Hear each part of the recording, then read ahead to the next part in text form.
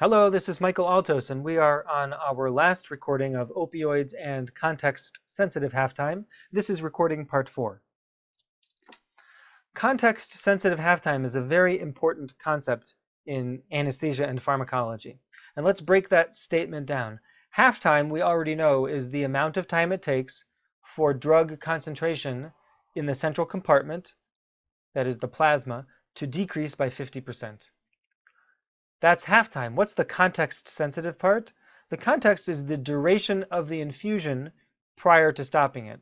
This is very important, so please make sure that you understand it. This is a graph that demonstrates, that diagrams context-sensitive halftime. You should be able to um, create a graph like this on an exam. On the x-axis, this is the duration of an infusion in time. How long did an infusion run? On the y-axis is the context-sensitive halftime, which is how long will it take for plasma levels to drop by 50% when you stop the infusion?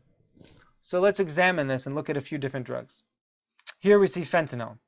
If I run a fentanyl infusion for an hour, it will take about 20 to 30 minutes for fentanyl levels in the plasma to drop by 50%.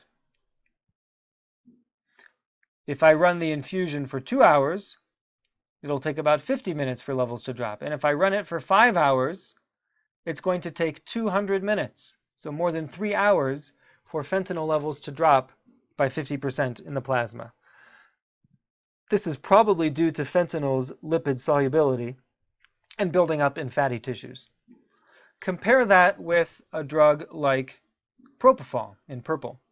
Here we see propofol also increases its context-sensitive halftime as the duration of infusion increases, but it's a lot flatter. And so that's good because we know that propofol is a great infusion for maintenance of sedation and anesthesia, and patients still wake up relatively quickly even after a prolonged propofol infusion.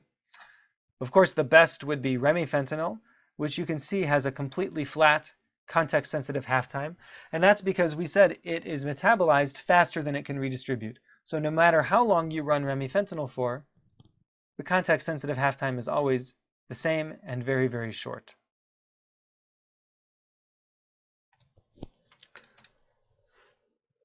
So to be clear, the context-sensitive halftime increases as a function of the duration of the infusion before it was stopped.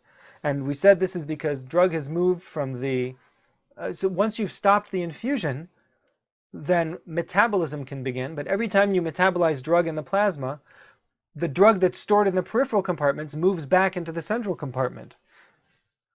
Now, you can't really calculate context-sensitive halftime. You have to model it based on computational simulation and an understanding of its pharmacokinetics. And you can't extrapolate it to other concentration decrements either. So this is really something you need to look up in a book. One other thing I'd like to point out is context-sensitive halftime is very nice.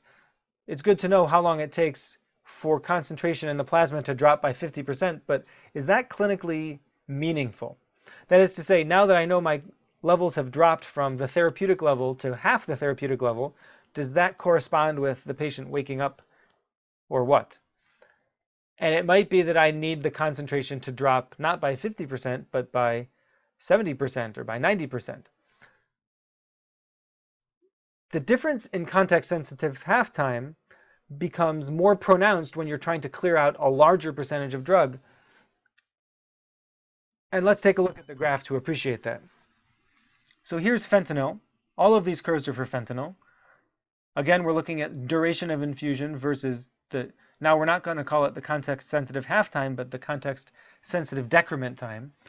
And this brownish line is a decrement of only 10%. How long will it take to drop plasma levels by just 10%, well, that shouldn't take very long at all. And so we'll see even with a long infusion, we can drop plasma levels by 10% pretty quickly. In green, we see that same 50% curve we saw before. But suppose we wanted to drop levels by, let's say, 80%.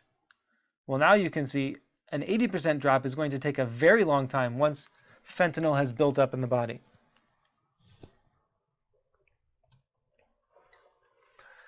That's it for our discussion of opioids and context-sensitive halftime.